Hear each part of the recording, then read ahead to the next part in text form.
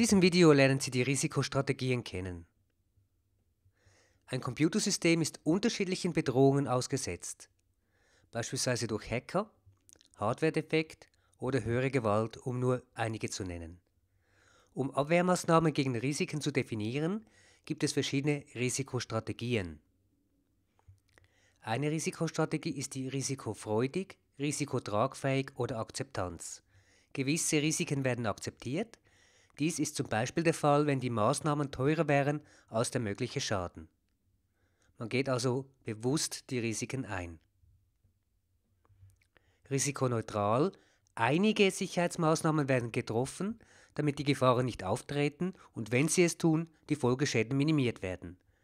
Man definiert also gewisse Maßnahmen gegen einige Schäden, andere bleiben aber bewusst offen. Risikovermeidung. Es werden möglichst alle Maßnahmen eingeleitet, damit das Risiko so weit wie nur möglich eliminiert wird.